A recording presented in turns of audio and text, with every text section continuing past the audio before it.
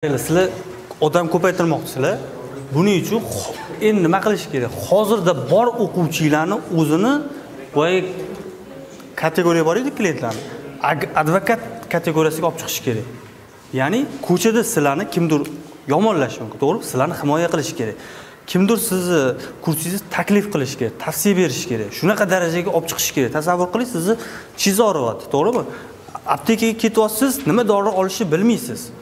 Lekin tish og'rig'i dorini olmoqchisiz ketyapsiz. Yo'lda bitta og'ayningiz chiqdida nimaga ketyapsiz aptekaga nima qanaqa bordik endi trimol olgin deydi siz nima qilasiz aptekaga ketayotgansiz borasiz faqat trimol so'raysiz. To'g'ri borib trimol so'raysiz. Ungacha o'rtog'ingizni ko'rmagunizcha sizni xayolingizda u dori yo'q edi. Siz klientlarni shunaqangi darajaga olib chiqishingiz kerak advokat darajasiga. Sizni tavsiya bersin ko'chada.